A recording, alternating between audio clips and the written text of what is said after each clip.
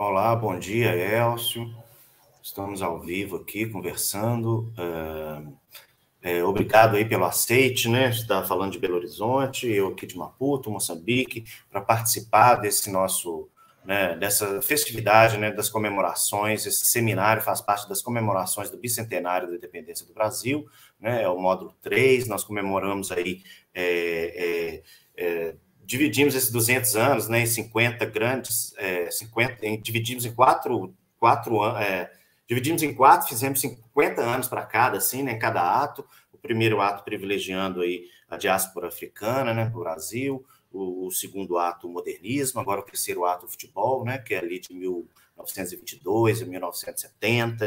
E agora o quarto ato, que já é a partir de 7 de setembro, né? É, vamos fazer uma mostra de cinema, o Brasil contemporâneo, o Brasil que a gente quer, que são homenageando cantoras, né? Grandes cantoras brasileiras. Então, esse esse seminário de futebol, ele a gente fez um primeiro seminário experimental aqui, é, online, né? É, chama Seminário Futebol, Linguagem e Artes. E agora o segundo, né? Com subtítulo é, a memória é uma ilha de edição, né, inspirado nesse verso do Ali Solomão. Então, a gente vai problematizar a, a memória do futebol. Né? Então, é, é, fizemos uma seleção de, de, de mostra de cinema, é, e hoje a gente vai falar do filme Dossiê 50, que é tão caro né, a você, você tem suas pesquisas de memória e futebol. É, gostaria que você pudesse falar um pouquinho também é, das suas pesquisas, né, para estimular tanto os brasileiros quanto os moçambicanos, né, que trabalha essa, esse viés, né, o futebol pela memória. Então, é, hoje, é, espero que você foque também no Barbosa, né, com a grande figura aí do, do futebol dos anos 50, né, e muito obrigado. Né, só te apresentar brevemente, né, o Elson, dos pesquisadores é, que nem mais tem produzido né, nos últimos, né, nos últimos decênios aí, né, na última década de, de trabalhando pelo viés da, da linguagem, né, da literatura, né, sociocultural, digamos assim, né, pelos estudos culturalistas também, trabalhando no futebol na Faculdade de Letras da UFMG, fundou em 2010 o núcleo né, que chama Futebol, Linguagem e Artes, é professor da área de alemão, e professor também da, da pós-graduação né, de teoria é, de literatura comparada lá na Faculdade de Letras e também no, na área do lazer, né, atua também na pós-graduação na área do lazer é, na UFMG. Mas se quiser agregar alguma coisa, né, com muitas publicações, né, partilhar isso um pouco com a gente, esse, esse filme que é tão é, sensível, né, testemunhos desses 11 grandes jogadores. Né. Muito obrigado, Elcio. Bom dia, obrigado, Gustavo, pelo convite de poder aqui eh, integrar a programação deste terceiro ato, né, eh, do evento comemorativo do bicentenário da independência eh, do Brasil, né, para comentar exatamente o documentário Dossiê 50 Comício a favor dos náufragos, né, de Generton Moraes Neto. É, eu é, dediquei algum tempo a pesquisar a Copa de 50 e justamente a memória da Copa de 50.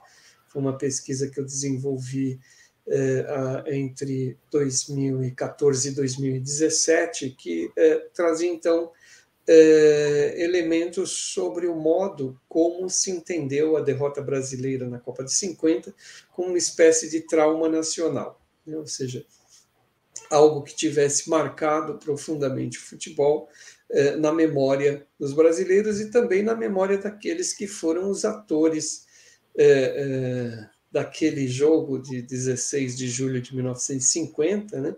os atores brasileiros, né? principalmente os jogadores. E uh, esse histórico ele se relaciona diretamente com, essa, com esse documentário e também com as obras que é, é, deram origem a ele até mesmo, né? as obras, os livros né? que foram publicados antes é, da realização do próprio uh, documentário. É, além disso, ainda nesse foco sobre a memória, né? memória e futebol, é, eu desenvolvi uma pesquisa mais focada na questão é, das autobiografias e biografias de jogadores da seleção brasileira de diversas gerações e é, um desses eh, jogadores foi justamente o goleiro o goleiro Barbosa, né? É, uma das figuras daquele Mundial de 50 e talvez a mais marcada pela questão não só da, da derrota, mas também de ter sido uh, acusado de ter falhado num gol, no chamado gol fatal, né, entre aspas, uma expressão de José Miguel Wisnik para o gol uh, da vitória da seleção uruguaia naquele jogo de, de 16 de julho de 50. Então foram pesquisas que elas dialogam entre si, essa segunda pesquisa desenvolvida de, de 2017 até 2020, e, de certo modo, eu vou tocar aqui um pouco uh, nesse tema da relação entre memória e uh, futebol, já uh, direcionado para o documentário em questão. Né? Então, aqui mencionando exatamente essas duas, esses dois livros, né, que, de certo modo, principalmente o primeiro, estão na origem do próprio documentário, que é o primeiro, né, o Dossiê 50, os 11 jogadores revelam os segredos da maior tragédia do futebol brasileiro, que foi publicado exatamente em 2000 e que eh, tem uma estrutura eh, e tem também eh, elementos, né, muitas vezes citações que nós vamos encontrar no dossiê 50, que são citações extraídas de toda uma pesquisa que o Geneton fez na década de 80 mais precisamente em 1986, e que ganharam forma nesse livro, né, de 2000, que sofreu uma, uma publicação de segunda edição, com uma pequena variação, conforme eu vou indicar também, eh, e com um subtítulo diferente, né? Eh, o dossiê 50, um repórter em busca dos 11 jogadores que entraram em campo para serem campeões do mundo em 1950, mas se tornaram personagens do maior drama da história do futebol brasileiro. É, então, aqui nós já temos essa ideia da expedição, né, que vai estar também muito marcada na, no, no, documentário, essa busca é, dos 11 jogadores. Né? Então, é, isso já está também refletido nesse subtítulo, e mais uma vez, reforçando, nós temos a menção da maior tragédia, e aqui na, na edição de 2013 a, a noção da maior, do maior drama da história. Então, essa, essa ideia de uma memória disfórica, uma memória trágica, né? É, e que é, o dossiê 50, o documentário, vem justamente é, trazer uma, uma espécie de homenagem a esses a esses, é, essas figuras trágicas da seleção brasileira de 50, né? Então, aos, aos naufragados né, da seleção é, é, de 1950. Então, aqui, apenas mencionando né, que o Geneton uma, teve uma longa carreira ligado à TV, né? É, por exemplo, como editor do Jornal do Globo, Jornal Nacional, atuou também no programa ah, Fantástico, então ele tinha uma ligação muito forte, né?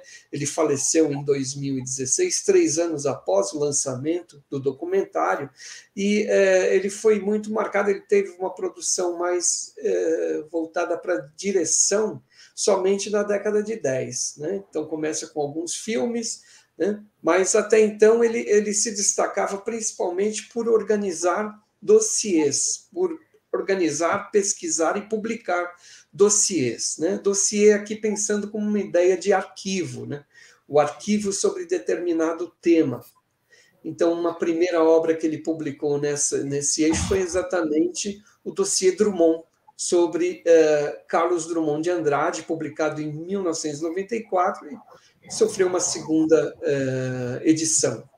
Uh, além disso, ele publicou então o Dossiê Brasil, Dossiê 50, seu terceiro dossiê publicado, Dossiê Moscou, Dossiê Brasília, Dossiê História e, por fim, Dossiê Gabeira, de 2009, sobre uh, o escritor e político Fernando Gabeira. Né? Então, aqui as capas de algumas dessas edições. Né? Então, é, é, percebe-se que na produção tanto como escritor quanto como, como eh, diretor, nesse caso, né, do documentário, nós vamos encontrar, então, essa, esse trabalho com essa noção de dossiê.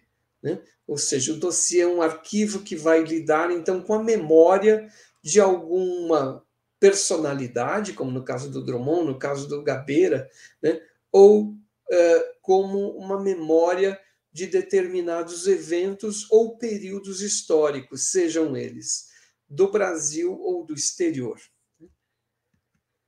Então, eu inicio aqui falando primeiro para a gente entender né, a constituição do documentário Dossiê 50 a partir das duas edições dos livros, porque, de certo modo, os sumários dessas edições servem também como uma espécie de roteiro para o próprio, o próprio uh, documentário, ou pelo menos como uh, um arquivo do qual o o, o, cineasta poderá lançar mão para extrair, por exemplo, citações, né? porque o, o Geneton ele fez todo um trabalho de entrevista lá na década de, de 80, principalmente. Ele vai entrevistar depois, em outros momentos, uh, os jogadores, mas ele consegue lá em 1986 entrevistar todos os jogadores, todos os jogadores que atuaram naquele jogo uh, de 16 de julho de 50 todos ainda estavam vivos. Posteriormente, ele é, ainda entrevistou um ou outro ali, né, após os anos 2000, né, um ou outro, mas vários já haviam falecido. Né? Então, a cada capítulo dedicado a um jogador, começando pelo goleiro Barbosa, né? Augusto, Juvenal, Bauer, Danilo Bigode, Friaça, Zizinho, Ademir, Jair e Chico, né? E há apenas um capítulo nessa primeira edição do livro que não é dedicado a um jogador e sim ao treinador, né? é, ao Flávio Costa, que é esse é, último capítulo, o 13 terceiro capítulo, né? dedicado ao Flávio Costa. Né? E sempre essa né, reverbera essa ideia da derrota, da derrota trágica, né, em frases, né, como essa frase do próprio Flávio Costa, nem o general Solano Lopes teve de explicar tanto a derrota para o Brasil eh, na Guerra do Paraguai. Né? Então, aqui apenas uma fotografia ilustrativa eh, dos jogadores com os respectivos nomes grafados. Né? Então, uma seleção que foi muito marcada pela derrota, pela, pela eh, derrota trágica né? de, da Copa de 50. Já passando para a segunda edição, é, a gente vê que muito, muito da primeira se mantém. Né? Então, a própria sequência ela vai se manter, mas há pequenas modificações. Por exemplo, o capítulo dedicado à friaça, ele sofre uma alteração no título mais uma vez uma frase do, do, do, jogador é escolhido como título do capítulo, né? O trauma foi enorme quando dei por mim estava embaixo de uma jaqueira. Isso resulta de uma entrevista que o Geneton fez a posteriori, em 2006, com o Friaça. Era um dos, na época, um dos últimos ainda vivos. Né? E ele, então, produz nessa edição de 2013, que é o mesmo ano de lançamento do documentário, ele é, coloca essa pequena alteração. Ele mantém ainda o, o, capítulo sobre o Flávio Costa, mas ele também uh, coloca, insere mais um capítulo, que é o capítulo dedicado ao Didia, né?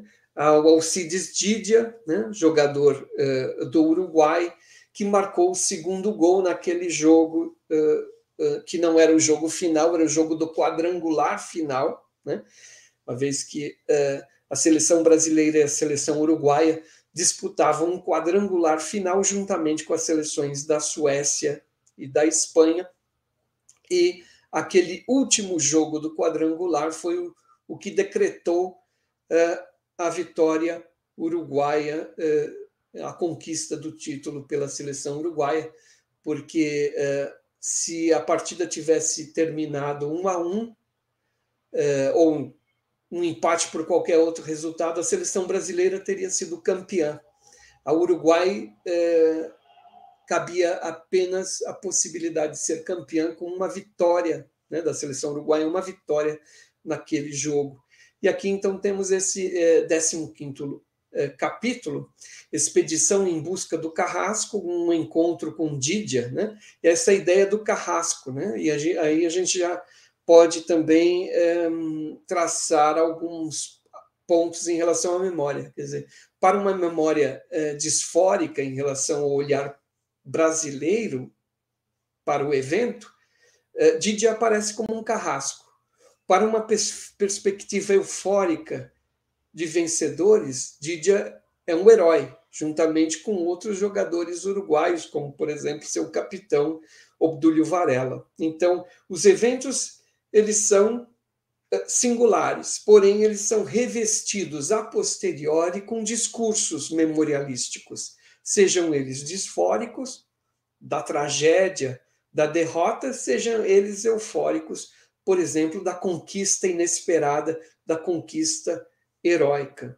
Eh, é importante mencionar isso em relação à segunda edição do livro, porque é, Didia ganha espaço exatamente no documentário também no, no comício a favor dos náufragos. Ele também fará parte. Então, ele é parte dessa atualização que o Geneton fez no, no dossiê e que no, no, no livro, né?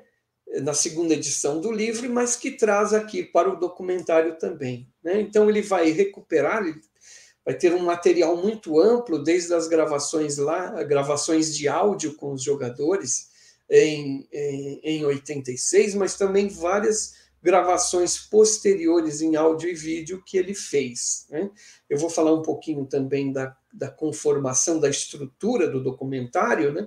Mas aqui eu inicio falando especificamente sobre a epígrafe, né? é, que é exibida no, no, no, no dossiê e que é, é o que é o que é, motiva também esse subtítulo, né, dossiê 50 comício a favor dos náufragos, que são versos extraídos de um poema de Walt Whitman, né, é, que diz o seguinte, né, vivas as que, aqueles que levaram a pior, e aqueles cujos navios de guerra afundaram no mar, e a todos os generais das estratégias perdidas, foram todos heróis. Né? Então, um modo aqui de habilitação, né?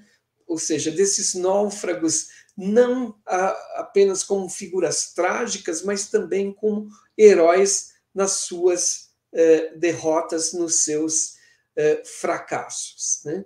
Eh, além disso, né? então ele vai se compor, né? por, entre, vai se compor a partir de entrevistas, né?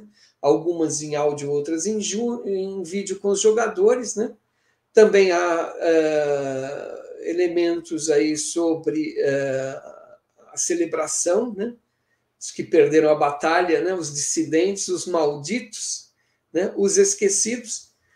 E uh, esse documentário ele conta também com a participação de quatro atores, né? o Paulo César Pereio, que ao mesmo tempo é o narrador, né? uh, Milton Gonçalves, Cláudio uh, Jaborandi, Chico Dias, todos atores uh, conhecidos, atores brasileiros conhecidos aqui no país. Né? Então, aqui um pouquinho sobre essa ideia que eu já, certo modo, mencionei, a ideia de, de dossiê. Né? Então, um dossiê, né? Ele pode ser uma coleção de documentos né, relativos a um processo, no sentido que a gente, em geral, utiliza, mas pode ser também uma pasta, um arquivo ou qualquer outro meio idêntico usado para guardar esses documentos. Então, o dossiê 50 é uma espécie de um arrazoado né, é, no resgate por uma memória do que ocorreu, é, trazendo seus atores que não, são só, não foram só testemunhas dentro das quatro linhas como prestam testemunho, ou seja, relatam uh, sobre suas vivências e principalmente o, o, o, que veio após a derrota. Né? Comício como sendo uma reunião pública em defesa, né? aqui no caso, um assunto em defesa desses jogadores, desses naufragados, né? Uma expedição enquanto uma viagem de exploração, uma região distante, mas uma viagem de exploração em busca desses jogadores que ele, Geneton, já havia realizado lá na década de 80 e continuou nas décadas posteriores, sempre tentando trazer esses, né, esses protagonistas daquele jogo, eh, sobretudo do lado brasileiro, né, eh, para tentar eh, construir né, ou entretecer essa memória. E a ideia né, de naufragar como uma ideia de malograr, fracassar, falhar, frustrar-se, né? E sempre associado, no caso da tragédia, do trágico, né, de que é uma é uma é um fracasso inesperado, né? Ou seja, havia sim havia sim uma construção eufórica de é, conquista que ao final não se concretiza. Né? É, então, os testemunhos, ou seja, os relatos memorialísticos dos brasileiros, né, é, são apresentados no, no filme, com, às vezes com fotos e com áudio, né, numa composição de fotos e áudio. Aqui, os 11 jogadores. Temos também essa, essa enunciação da expedição, né? uma expedição em busca dos onze. Começar pelo goleiro Barbosa, né? Uh, passando pelos outros jogadores daquela partida. Mas não se limita apenas a esses testemunhos das quatro linhas, mas também de testemunhos uh, uh, de outras figuras, né? Da imprensa, também da, do âmbito literário, né? Nós temos aqui algumas frases que são então apresentadas no documentário, por exemplo, do, do jornalista João Luiz Albuquerque, não tenho ódio nenhum do Uruguai, tenho ódio daqueles 11, né? do, do então eh, soldado do Exército Brasileiro, do seu serviço militar durante a Copa eh, do, de 50, ele estava inclusive em uniforme eh, do Exército nas arquibancadas do Maracanã. Ainda não era o, o nome projetado do grande jogador que foi, e também do, do excelente técnico né, que viria a se consagrar com a seleção brasileira eh, em 70. Né? é, e, e, em, e, também em 94, né, viu o Maracanã em lágrimas pela primeira vez, o maior túmulo do mundo, mas é, 1950 marcou o início de todas as nossas conquistas, né, já nessa construção de um sentido a posteriori. Temos o escritor Carlos Heitor Coni também, perdemos em 50 aquela inocência, aquele assanhamento que herdamos dos índios. Talvez tenha sido melhor assim dolorosamente, ficamos adultos sem querer. E do Mário Filho, né, o jornalista né, uh, sempre muito destacado pelo estádio do Maracanã levar o seu nome, né, uh, também um cronista esportivo de renome no Brasil, irmão de Nelson Rodrigues, né, poucos se perceberam de que naquela aprovação se temperava uma geração de campeões do mundo. Então, essa, essa ideia também é, que é importante salientar na construção da memória da Copa de 50, e o dossiê 50 documentário também vai refletir isso, é a construção do mito da derrota, o mito da derrota trágica, ou seja, uma narrativa constante que vai atribuir significado a partir da perspectiva brasileira de uma derrota trágica. Então, aqui passando para a composição do, do, da linguagem fílmica do dossiê. É, basicamente, quando é, trabalhamos com a linguagem fílmica é, em geral, estabelecemos duas, duas partes específicas, a que diz eh, respeito às imagens propriamente ditas e o tratamento das imagens, e uma outra que é mais voltado para o trabalho do tratamento sonoro, né? Então, entre a montagem e a sincronização. No caso da montagem, né, uh, há um vasto material de arquivo, né, um material de dossiê, né, uh, que vai ser composto, então, por vídeo, por fotografia, por reportagem, por entrevista, né? Mas não se limita só a isso. Na parte da montagem, nós temos a encenação dos atores, né, os atores que é, eles é, emitem frases que são frases dos jogadores. Né? Tendo aqui nesse slide uma imagem do ator né, é, Paulo César Pereio, que é além é, desse, é, desse ator que vai é, reproduzir as falas de alguns jogadores, ele é um narrador da história também, muitas vezes em voz off. Né? Uh, e já na sincronização de uh, sonora, nós temos então material de arquivo áudio, uh, as fitas gravadas de lá da década de 80 pelo Geneton foram utilizadas aqui, muitas vezes então com a ou, ou, com a imagem projetada de uma fotografia do jogador, né? ou então um dos atores lendo ou recitando, né, reproduzindo a fala de algum jogador. Além disso, a trilha sonora com músicas e, como mencionei, o recurso da voz off, seja do entrevistado, seja do narrador, no caso, o ator Paulo César Pereio. Aqui apenas as imagens desses quatro uh, atores: Chico Dias, Milton Gonçalves, Cláudio Jaborandi e o narrador, Paulo César Pereira. Bom, as temporalidades de memória que aparecem. Né? Então, eh, nós temos, por exemplo, eh, parte em que há essa projeção da fotografia do jogador e mais alguma frase. Né? Então, por exemplo, do Friaça, né? do atacante Friaça.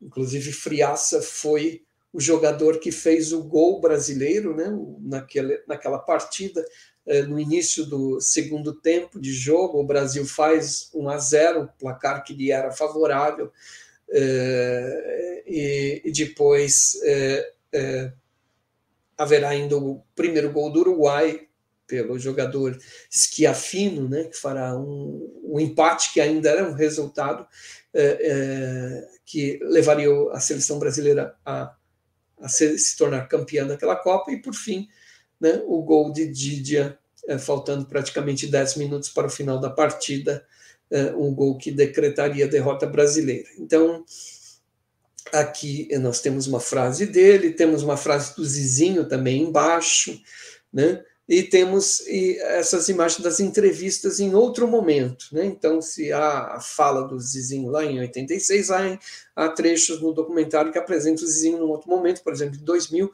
ou em 2006, o, o Friaça. Né? É, além disso, como mencionei, aquilo que já está também reproduzido no livro, na segunda edição do, do livro Dossiê 50, é, isso se estabelece também aqui no caso do, do uh, Didia, né, do jogador do Alcides Didia, o jogador uruguaio, considerado uh, um dos grandes heróis uruguaios daquela seleção, né, ou seja, um herói destacado num conjunto de heróis. E, uh, mais uma vez, essa ideia, 13 perguntas ao Carrasco, que é o título da, do capítulo no livro, né? E, e, e Geneton viajou ao Uruguai, então, para é, é, entrevistar o Didier, que havia sofrido é, um acidente automobilístico recentemente, né? estava se recuperando de, de, de sérias lesões no joelho, e então ele vai falar também sobre, aí trazendo o olhar uruguaio, né? Sobre é, essa é, aquela partida e também a como se estabelece a memória daquela partida para, pela perspectiva de um jogador uruguaio.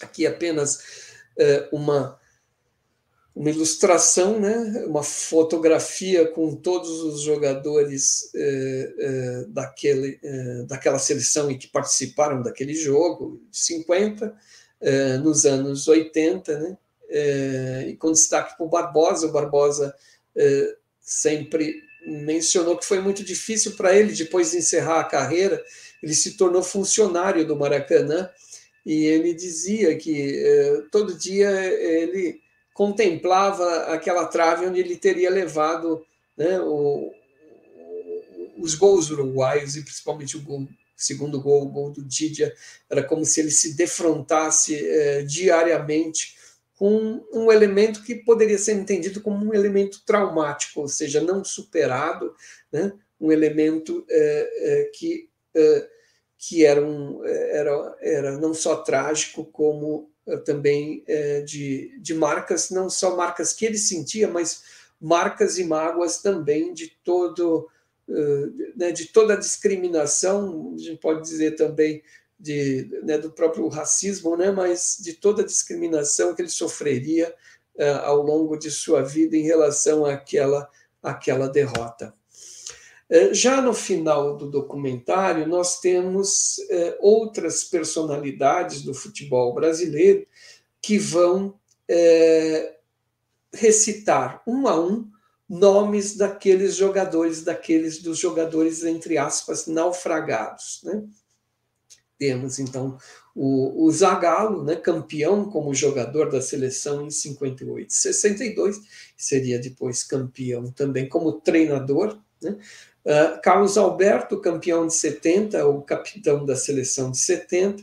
Dunga, campeão de 94 e capitão também da seleção. Ronaldo, campeão de 2002. Né? Então, esses jogadores eles passam a recitar ali os nomes dos jogadores eh, de 50.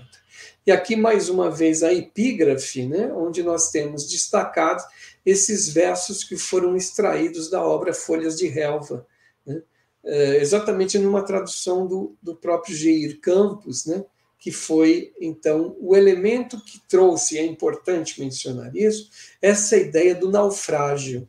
Né?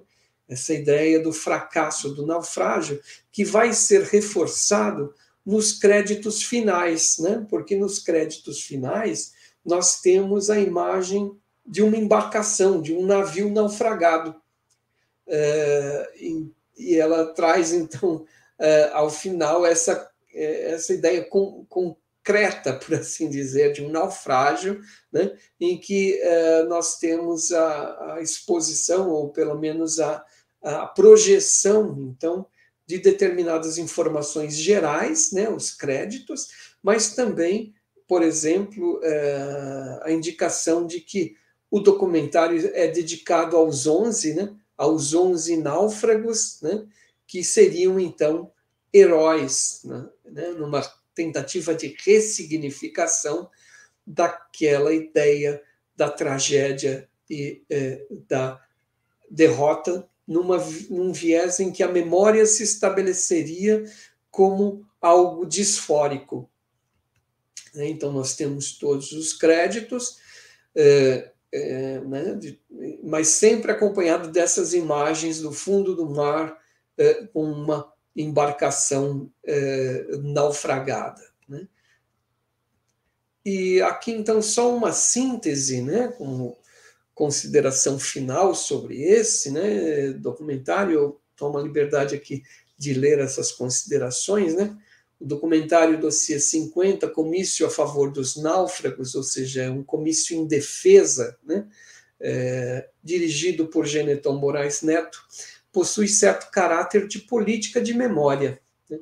o mesmo espírito que o moveu a realizar em 1986 entrevistas com os 11 jogadores da seleção brasileira que disputaram a partida contra a seleção uruguaia em 16 de julho de 1950 no Maracanã, o então estádio municipal, ele ainda não se chamava assim como Estádio do Maracanã, e se localiza até hoje no bairro do Maracanã, mas não era esse o nome oficial do estádio, né? foi o mesmo que o fez integrar na segunda edição do livro Dossiê 50 e no documentário uma entrevista com Carrasco Didia. Entretanto, no documentário, o relato de Flávio Costa, presente nas duas edições do livro, está ausente, ou seja, ele não, não traz os trechos de entrevista com o Flávio Costa no documentário Dossiê 50. Em termos estéticos, o documentário apresenta procedimentos interessantes para se produzir um discurso memorialístico em torno dos derrotados, dando voz aos vencidos, mas também aos vencedores, ou pelo menos a um deles, né, o Didia. O emprego de atores para reproduzirem falas dos jogadores permite-nos pensar dossiê 50, comício a favor dos náufragos, como um docudrama em uma conjunção entre o histórico e o ficcional, mediado pela memória. Né? O docu, docudrama, que é um subgênero do documentário, mas que traz elementos é, explicitamente ficcionalizados, né? em que é, há essa conjunção entre as falas dos jogadores e a representação dos atores. Uh, para quem aqui são as referências né, dessas duas obras, as referências completas dos dois livros e a, as referências filmográficas também uh, do documentário. E para quem uh, se interessar, né, a sugestão de alguns livros, se interessar por esse tema, né, produziu-se muito sobre, sobre a Copa de 50 e principalmente o jogo Brasil-Uruguai eh, não só no Brasil, aqui eu menciono obras publicadas no Brasil, mas há uma série de obras publicadas também no, no Uruguai. Né? Eu destaco, além dos, dos volumes do dossiê 50, também as edições do livro uh, Barbosa, né? do Roberto Muilaert, que de, uh, fez, uh, né, de certo modo, algo semelhante, mas é, específico em relação ao, ao goleiro Barbosa. Né? E ele publicou exatamente em 2000 também, Barbosa, um gol faz 50 anos, e em 2013 ele publicou Barbosa, um gol silencia o Brasil, né? uma modificação do subtítulo, até por causa de datação, né? É, ele publicou então uma segunda edição.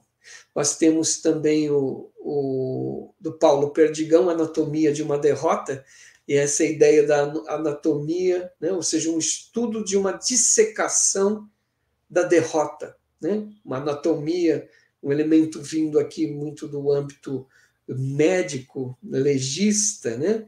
É, que é trazido nesse, nessa obra que é muito interessante.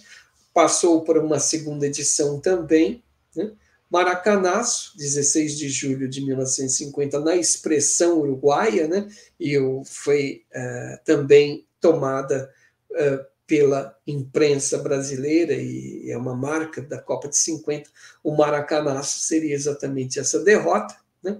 tragédias e epopeias de um estádio com alma, e outros como o preço de uma Copa, 1950, o Rio corre para o Maracanã, a Copa do Mundo de 50, a maior tragédia do futebol brasileiro. A gente vê então é, que essa memória trágica ela vai se compor também por toda essa produção que foi realizada, não só em termos de livros, né, mas também de documentários como o documentário Comício a favor dos náufragos.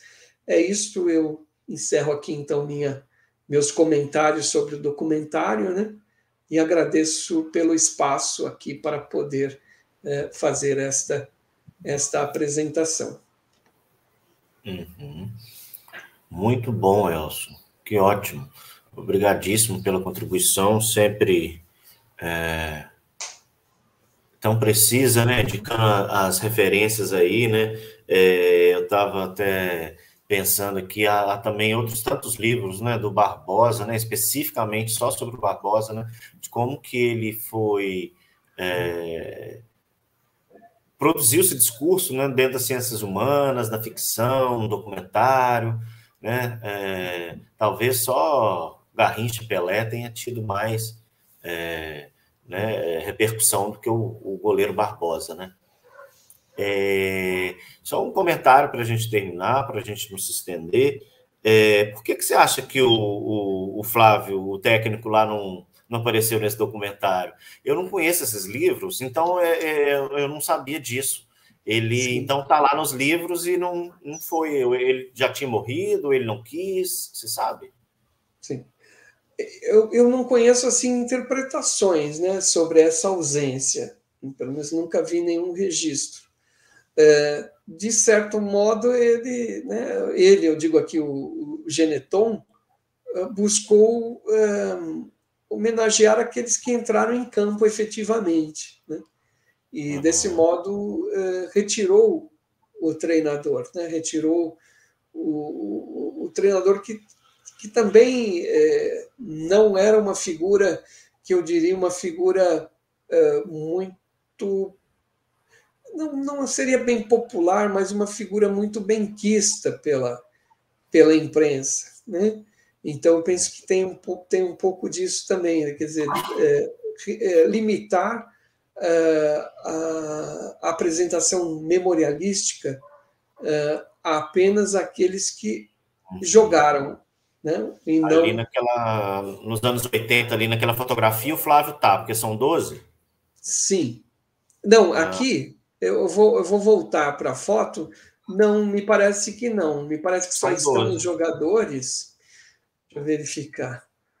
É, e, e quem está aqui é o, é o Mário Américo, né?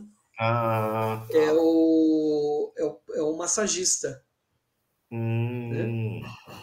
Porque eu não, não reconheço todos, mas aqui o Barbosa, né? É, uhum. aqui o, o, o, Friaça, o Jair, o Zizinho, né? É, aqui o Bigode também, o Juvenal, né? o Bauer. Né? Aqui, aqui sim são todos os jogadores. O Flávio Costa, eu creio que ele já. Ele foi entrevistado em, em 86, mas eu não me recordo agora é, é, a data, o ano, pelo menos, em quando ele, ele faleceu mas era um treinador de, de muito destaque. Né? Ele foi o, o treinador do Vasco da Gama, uh, no, no, no, time histórico do Vasco da Gama, que era o chamado Expresso da Vitória, né? que foi uh, o campeão sul-americano ali de 1948. Né? Então, o Vasco da Gama, inclusive, era quase que a base da, da, da seleção brasileira. Ele, ele tinha um reconhecimento. Né? Eh, mas eh, enquanto eh, pessoa era muito sempre muito apresentado com um temperamento meio agressivo, meio exaltado, né? alguém que tentava impor sua autoridade sobre os comandados tal, né? E a todo, como você falou, é interessante, por exemplo, ler os livros sobre o Barbosa, específicos sobre o Barbosa, né? e como essa personagem foi ficcionalizada, né? É, tanto no curta-metragem Barbosa, de 1989, ou então em contos, como no conto do, do Paulo Perdigão, O Dia que o Brasil Perdeu a Copa, que é um conto de 1975, que está no livro Anatomia é, de, uma, de uma Derrota mas os diversos relatos que o Barbosa fez né, sobre os dias, né, o, o, próprio dia da derrota, os dias subsequentes, as décadas posteriores, e como ele sempre foi muito marcado por essa, por essa derrota, né, e não só marcado pela vivência da derrota, mas pelo olhar das pessoas para ele e como elas é, né, também reforçavam essa ideia da memória da derrota e de que ele, dentre os derrotados, seria, juntamente com os, com os zagueiros, né, com, o, com o zagueiro, melhor dizendo, o, o Juvenal e o lateral esquerdo, o Bigode, é, é, como sendo aqueles que teriam falhado no conjunto, é, principalmente no gol do, do Didia. Né? então, muito material, né? E, como mencionei, esse é o modo do trabalho memorialístico, né? de revestir um evento efetivo com um significado. E o significado que eh, foi eh, que sobressaiu nessa nesse mito, ou seja, nessa narrativa constante, foi exatamente o da tragédia, diferindo naturalmente da visão eufórica da conquista heróica pela perspectiva uruguaia. Né? Quando a gente vai, né, na minha pesquisa, eu me dediquei também a trabalhar com livros produzidos no Uruguai, é, uhum. nota-se sensivelmente a distinção. Né, em que, a, é, a rigor, o Uruguai era os bicampeões olímpicos, né? Já eram, já eram Isso. campeões é, mundiais. Era, era, o, era o, a vitória, era a né? Seleção, é, é, a, é, a, é a confirmação né? do, do poder. Isso. Né? Era, era é, a seleção uruguaia em 50 ela igualou a seleção italiana, né? Que a seleção italiana ela foi campeã de 34 e 38, né? Então a seleção uruguaia foi igualou igualou-se no bicampeonato e conforme você mencionou foi campeã olímpica de 24 e 28 que a credenciou até como sede da primeira Copa do Mundo organizada pela FIFA em 1930. Né? Então, o Uruguai, nessa primeira metade do século do século XX, se, se destacava como uma, uma potência do futebol mundial. Uhum. Ok, muito obrigado, Elcio. É, só deixar o meu, o meu testemunho aqui, né? É, nossas, é, nossa aula vai ficar gravada né, no YouTube.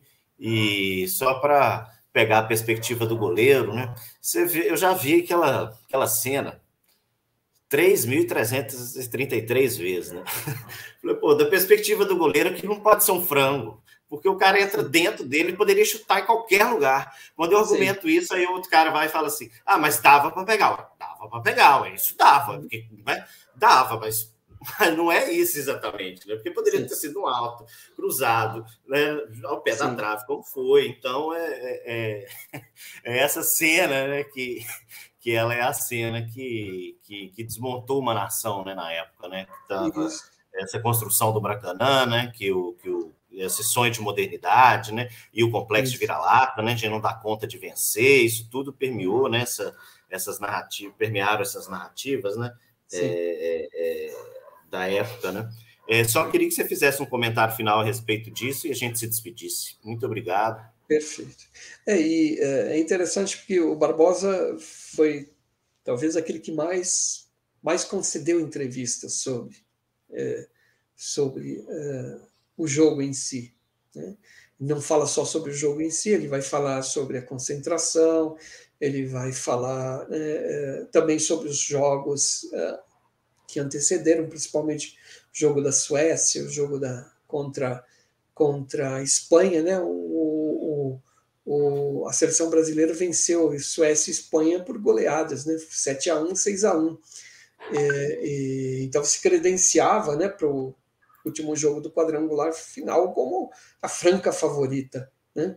É, e que provavelmente produziria uma nova goleada, algo que não não se estabeleceu como, como tal.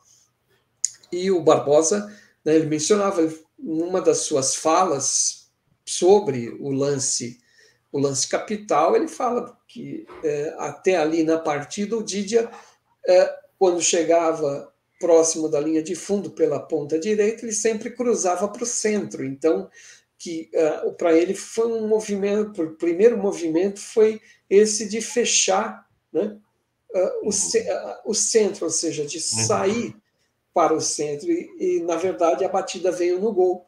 E quando ele retornou, quando ele mudou o movimento, fração de segundos, uh, ele não pôde impedir a, né, interceptar a bola.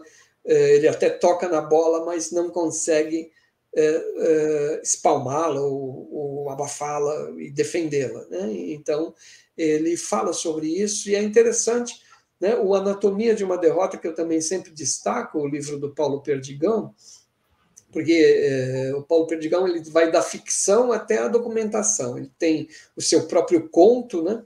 sobre a derrota, que vai ser a base do documentário Barbosa, né, do, do curta-metragem, melhor dizendo, não é o documentário, mas do curta-metragem ficcionalizado Barbosa, que é, é do, do conto o, né, o dia em que o Brasil perdeu a Copa. E ele traz também a, a transcrição da transmissão de uma das rádios daquela partida. É muito interessante quando é, a gente estuda é, o texto da transmissão, é, a, a, né, a, a escrita da transmissão. Né? É muito interessante porque a gente vê que o Uruguai jogou o tempo inteiro por aquele setor. Né? O, o, o, próprio Bigode ele se viu é, em 13 enfrentamentos diretos com o Didia naquele jogo. Então, a tática uruguaia foi toda é, jogada ali no, lado direito. Tanto é que uh, o, o, primeiro gol uruguaio ele sai por, também por um, por uma bola que vem da ponta direita para o meio e é finalizada pelo Schiaffino na entrada da área. Então, é, é muito interessante é, perceber até também como é que o Uruguai se, se, se, se postou em campo e como né, é, isso, de certo modo, traz outros elementos para a gente entender até o, o, o, andamento do jogo e o, o lance, é, né, o chamado gol fatal, conforme eu mencionei numa, numa citação do é, é José Miguel Wisnik. Mas é isso.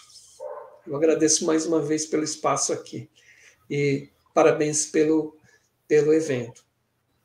Um abraço. Muito obrigado, bom dia. E no final do ano, Instituto Guimarães Rosa, né, que agora foi nomeado assim, o Centro Cultural Brasil Moçambique, vai trazer uma exposição sobre o Barbosa e sobre os goleiros, que essa exposição fez 150 anos, né? E vamos homenagear os goleiros brasileiros e Moçambique aí, goleiras também no final do ano. Esperando todos aí ao longo da Copa do Mundo. Um abraço.